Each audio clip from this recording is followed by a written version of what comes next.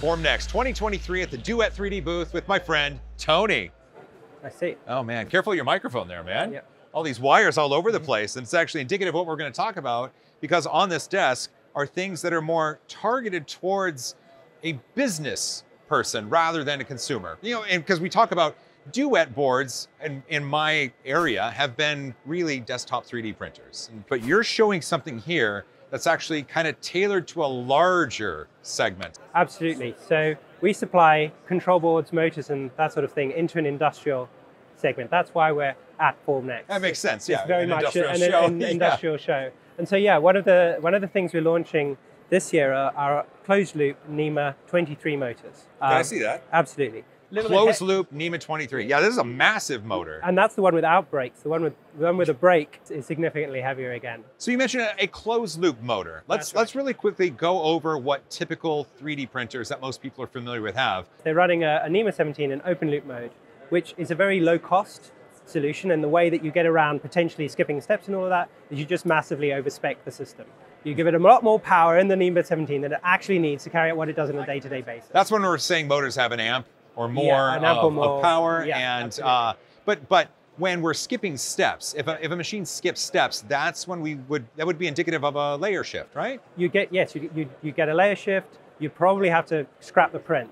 And when you're doing it on a desktop machine, that's a pain. But when you're doing it on a machine with a meter plus build area, use and, and you know it's a five day print, uh, closed loop suddenly becomes much much more essential. Like required at this point, right? I would say yes, it's yeah, required. okay. Yeah. And plus, I'm holding a NEMA 23 because these larger machines need larger motors to run all the components, right? Absolutely, yes. And now you said this is new. Uh, we're launching it right now. We've uh, we've got it in production and we're just starting to ship to the first few of our customers next week. Now, new meaning has Duet not done closed loop before? I don't. No, so No. The, the, the, what we've done here, the, the newness is the, the tightness of the integration.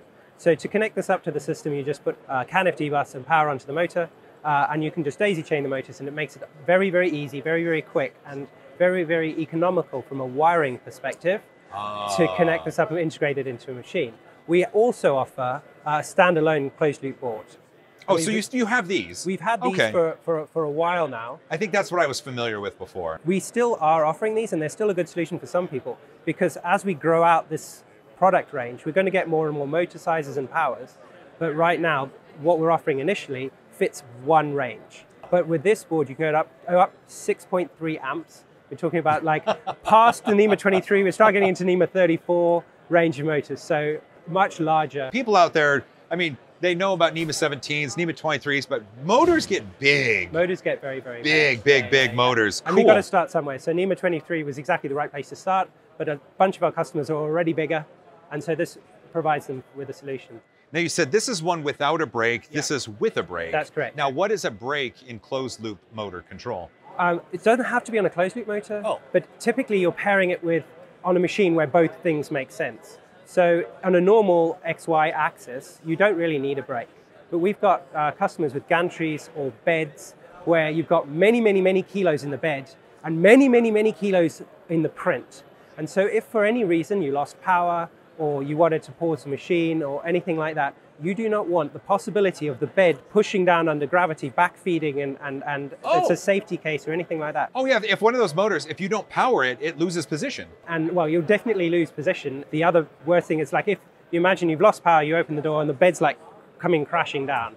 So this is this is a, not a good thing. So the brakes that we have, they lock on as soon as they lose power. So you apply power to them to open, Oh. so the motor moves. So as soon as you take power away, or in our case, as soon as you disable the motor, we put the brake on.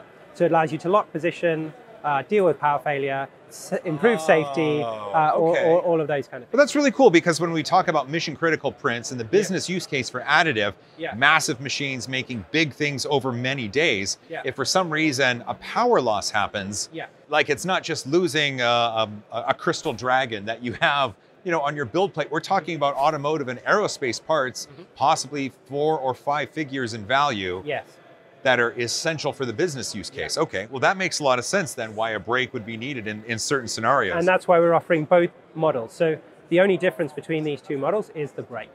oh that's it Yeah, that's the, they're, they're, the, they're the same motor length to start with, the same control system.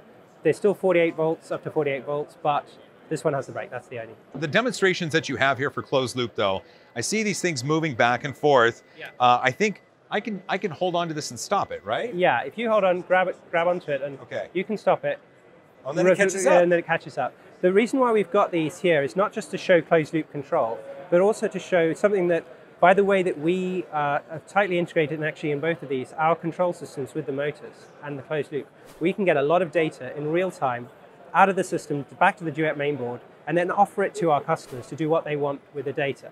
So we're not in the space of trying to grab all the data from all, from all of our customers, but we want to offer it to them as something they can do things with. I see. So they can they can actually action off of the data. Yeah. You have a you have a, a list of everything that you can provide, Yeah. and they can be like, oh, this is great. Yeah. And they can figure out how that data implements in their system in order to increase productivity or reduce failures. Absolutely. So one use case for this is if if a closed loop motor loses position a lot, you've got to pause the print. You've got to work out what's happened. But what happens if an axis is very slowly, uh, you know, needing maintenance? Maybe it needs some lubrication or there's something like that. So the error is slowly changing. It's not gone so bad that you can't run the machine, but you know, you need to carry out your maintenance. You need to do lubrication and all of that kind of stuff.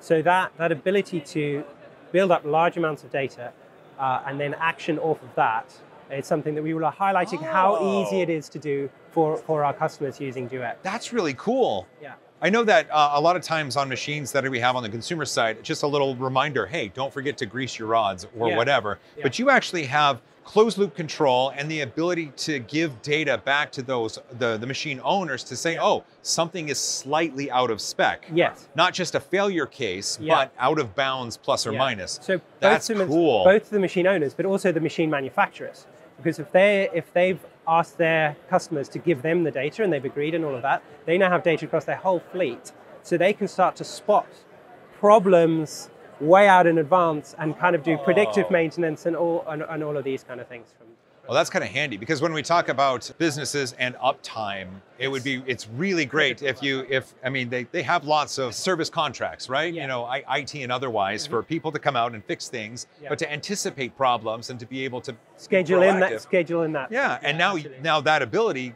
yeah. translates over to motors and motion system. the motors and the motion system is just one part of the, the amount of data that we're offering up to our to our customers. Yeah. But it's useful, it's actionable data. Yeah. And oh, it's that's also amazing. not our data. We're not trying to kind of steal everybody's data and, and keep it for ourselves. We're enabling our customers to take the useful action to them with that data. Uh, Yeah. That's that's perfect. I love being able to to tell people that it's not it's not telemetry Yeah. that you're trying to get uh, data from and compile into reports. You're like, this is all of the access you have.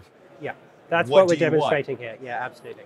Uh, one of the kind of the neat things that I saw on here. May I may I grab this? go ahead. Yeah. So uh, we got to show this earlier Mhm. live, and this is the Revo Roto. Yeah. But on the back of it is a board. That's that's right. you, right? yes. Okay. Talk a little bit about this. we designed a, a toolboard. This is not the first toolboard that we designed, but this is the first one we've designed very, very specifically for this extruder. And the, what we've done here is provided all exactly the connectors that E3D provide. So to add this to the extruder is just plugging all the wires that, are already there. So there's no crimping, no wiring to get it to this point. Okay. So that's quite quick. The That's other cool, really great. Yeah. the other cool thing, uh, I mentioned the CAN FD bus That's and, right. and how the motors are connected together. So this is another device on the bus. So when you add this tool to your machine, you only need to run power and CAN bus to the tool head, Oh. massively making uh, wiring cheaper, wiring simpler, wiring quicker. To do wiring properly is actually very expensive. We don't see it done well in the desktop space. Quite No, we don't.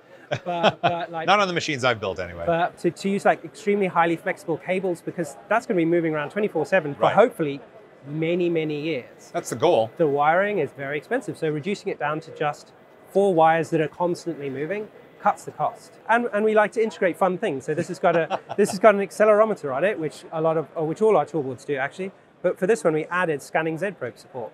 So we added a little connector, the, the circuitry on there, and Well, that's a tiny little ribbon cable. and then yeah, there's the coil that, that Oh, allows there you it to, is. to fast scan the bed. Well, that's right. Uh, Yeah. Over here at your booth, actually, you have a machine actually demonstrating the Yes. scanning ability. Yes, and it's That- that- doing 420 points in less than 10 seconds. So But but here, you you made this like it's a board that powers everything that this extruder needs with just everything plugging into it. Yeah. You've also like, hey, here's an accelerometer because why not? Yeah. And this Z probe. Like Yeah. you just plug it in right here and you're good to go. And at that point, it's four wires, two power, two data, back to the board that they're running. And all the data collection that I spoke about, this isn't closed loop, but a lot of the other data collection, like the filament monitoring and all of that, if you plug that in, is also available over the same, the same method. So it's all kind of we're trying to anticipate and answer people's needs within within this. space. That's really cool. Yeah, and the, the coils are customizable. So uh, here's one we're playing with that's designed to fit under a BL Touch. You, the BL Touch then probes. It the probes right through it. Probes right through it. Oh, yeah. because you still need to establish Z or Z. Yeah, we, then... we're recommending that you establish Z, and then you can then quickly scan. I see. Well, the scanning that I'm seeing on that machine is going pretty quickly. Yes. Oh man, this is this is fascinating, and I love that it's a look at Duet 3D at the business, the industrial side. I love seeing that because there's some really cool motors that not a lot of people know about. That mm-hmm. you're like, oh yeah, we got this. Yeah, absolutely. Tony, this is amazing. Thank you. This is amazing. People are going to want to know more though. So at that camera, right there, look into there and tell them where they can find out more about the Duet 3D business offering. The best thing to do is to come to our website, www.duet3d.com. Duet3D.com. There we go. We'll put it down in the description. Well, listen, if you made this far, you're awesome. Don't forget to hug each other more. Fight for a cause you believe in. Can bust FD all the things. You like that? I love it. And as always, high five. Bring it in. Nailed it.